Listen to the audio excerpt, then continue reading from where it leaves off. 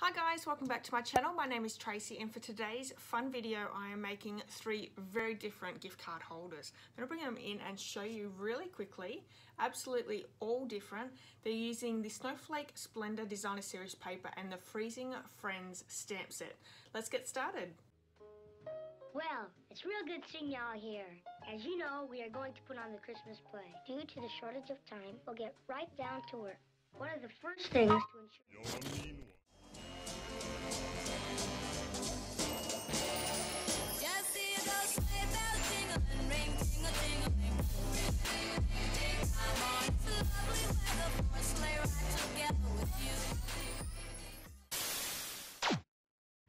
All the supplies I'm using for today's projects can be seen on the screen. Head over to my blog for all the measurements and the supplies will be listed over there as well. So these are three very different gift card holders using the Snowflake Splendor Designer Series paper as well as the Freezing Fun stamp set. So super cute. I love anything to do with snow and winter themed Christmas cards.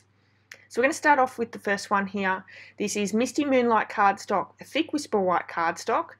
And the Misty Moonlight is 4x4. This thick whisper white measures 5 and 7 eighths by 3 and 3 quarters and I've scored it at 2 and 1 eighth. And that's going to create that little flap. Okay, so the next piece we've got here is a piece of Whisper White that we're going to die cut the second, second largest oval and we have a scrap piece of Pool Party for the smallest uh, circle in the stitched shape dies. We're also die cutting two of the largest ovals with Whisper White. Okay, so I've run both the Misty Moonlight and the Pool Party through the Winter Snow embossing folder and we're just going to pop this all together. So using some liquid Tombow glue, gluing our Whisper White piece down, then a piece of our Designer Series paper on top. To create that little flap, we're going to use some tear and tape uh, to attach this Misty Moonlight piece, and that holds it perfectly. It's actually a really nice strong hold.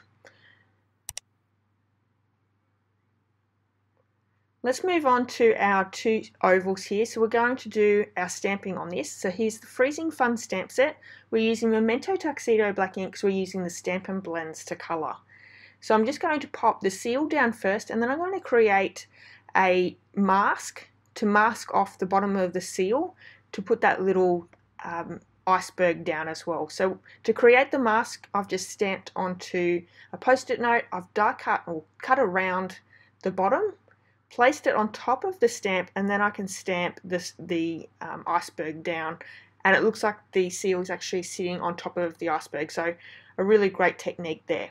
So we're using stamping Blends here and I have Smoky Slate for the steel for the seal, it's not a steel. We're using Misty Moonlight for his hat, so the combo packs for these ones, um, which is light and dark. And then for the iceberg we have the pool party. So these are all bringing the colours in from that designer series paper. And I'm simply going to be using my liquid adhesive to attach the stamped image to the designer series paper. And when you open, I open it up, so you can see the underside because our alcohol markers do bleed through the cardstock. I've created that second die cut to cover that mess up a little bit. Now, one thing I haven't done is I haven't stamped on the back of that oval. You could certainly stamp Merry Christmas. You could put in a to and a from from uh, for the gift card. Um, I've, I've left all of those blank just because it's not part of that uh, stamp set there, but you could certainly do that. So that's the first one there. Let's move on to the second one. So this uses a little bit more DSP we have Pool Party cardstock. It measures 4 and 1 8 by 11 inches and I'm going to score it at 5.5 inches. So that's just scoring it straight in half. The second piece of Pool Party that I'm going to bring in in just a second measures 3.5 by 4 and 1 8 and I'm going to score that at half an inch. That's going to create that little tab that I can attach to our card. So I'm just going to take a little bit off each corner so the tab goes perfectly down onto the card. So using tear and tape, this works really well because we're adding a little bit of um, cardstock and DSP to this flap. You really want to make sure that um, it's going to have a good strong hold and the tear and tape works really well. Okay, so let's bring in some of our other pieces. We have lots of designer series paper, so one for the front here, I'm going to pop it down just to get rid of it. Then we've got a little bit of die cutting. So once again, using the stitched shape dies, we have the largest and the second largest um, square there, as well as the third. So you need um, the largest in Balmy Blue, the second largest in Whisper White and Pool Party, and then another one, that third largest in Whisper White. So we're using that embossing folder again. That's the Winter Snow embossing folder, and this is Balmy Blue cardstock. It's actually going to hold the, the gift card inside. So we're going to do all the stamping for this gift card holder as well. So once again, we're using the Memento Tuxedo Black ink because we're using the stamping blends to colour with. So on the front um, piece is that seal and we're popping him down on the iceberg as, again. Super simple with that mask. Then the inside we have that gorgeous little penguin and I love this stamp set because it has quite a few different animals involved um, in this set. So to colour these ones in we have smoky slate uh, for the seal I'm using the smoky slate for, or the dark smoky slate for the penguin here. And we're using uh, balmy blue for the hat and also the scarf. So I've gone in with the light, colouring them all in. I'm going to use the dark for the pom-pom and then just to create a little bit of extra depth in the hat and the scarf here, just by popping a few little um, lines in there.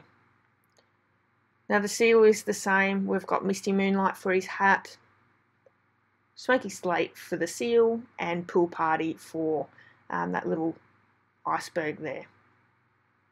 The coordinating colours for that Snowflake Splendor Designer Series paper is Balmy Blue, Coastal Cabana, Highland Heather, Misty Moonlight, Night of Navy, Pacific Point, Pool Party and Whisper White. So there's plenty of colours that you can team together with that. So I've got a scrap piece of Whisper White there as well. We're going to do the seal, but this time instead of doing the iceberg, we're going to bring in that snowboard just for something a little bit different. And I've got no idea about snowboard, so I don't even know whether that's the right way. It's probably the thinner end at the front. Who knows? If you snowboard, leave it in the comments whether I've got the snowboard the right way or not. I'll be very interested to find out.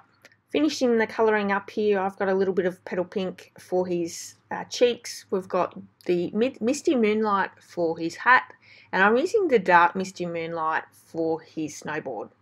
Okay, we're just going to quickly fussy cut him out. I absolutely love this little seal. He's so cute and he just adds a little bit of extra interest on the inside bit where the gift card goes. So we're going to start popping a few of our pieces together we have the layering of the balmy blue and pool party that we're going to use some liquid adhesive to pop them down. For the seal that goes on the balmy blue piece, this one sits at the very front of the card. We're using Seaside Spray metallic ribbon and I'm just going to create a little bit of a loop system on the back using Tear and Tape to keep that ribbon down in place. I find Tear and Tape is the best adhesive, nothing's going to move once it's on there and it's really quite inexpensive uh, to purchase as well. I'm going to pop this down on the balmy blue and then we can pop this up onto the very front of our card base. So I'm using dimensionals here. So moving on to our centerpiece. This is a piece of Whisper White. We're going to use Pool Party ink and in the Freezing Fun stamp set there is these little three snowflakes. So I'm just stamping the snowflakes along, along the bottom of that Whisper White piece. Gluing this in with liquid adhesive and for our flap, so we have a little piece of designer series paper there that I've glued down. We have the balmy blue that we ran through the embossing folder and I've just taken the everyday label punch just to create a little hole to be able to stick the gift card down. So we're securing this the same way as the other one with a bit of tear and tape once it's down, it's really not going to go anywhere. And it'll fit the gift card in really well. Okay, so our little seal is going to get popped down. Creates that nice little interest there. Okay, so for the front of the flap, we have a bit of designer series paper down and our penguin. And there is our second gift card. Super cute. Okay, so let's move on to the third one. We have the Balmy Blue cardstock. This measures um, 4 and 1 eighths by 9 and 3 quarters and I'm going to score it at 3 and 1 quarter and 6 and a half. So this is going to create that bit of a, a Z fold. This Z fold piece actually sits on a main piece. So we have Pacific Point and the Snowflake Splendor Designer Series paper. Um, the measurements are over my blog, so go and check that out. And we're going to just add all our little pieces together. So we have more of the Snowflake Splendor Designer Series paper with the matting of Pacific Point. Um, we're going to pop them together and then stick that on the front of this gift card holder. Then as we open it up, the next piece is going to be um, our actual gift card holder piece. So once again, we're popping a piece of Pacific Point through the embossing folder, Winter Snow embossing folder. And I've just used a punch just to create that little bit of a thumbnail hole to create, to put, be able to pull their gift card out.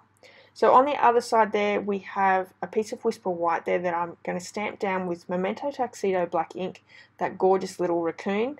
And I'm also stamping another one that we're going to pop down um, on the gift card as well. So we're using Smoky Slate Light and Dark, so the combo of the Smoky Slate.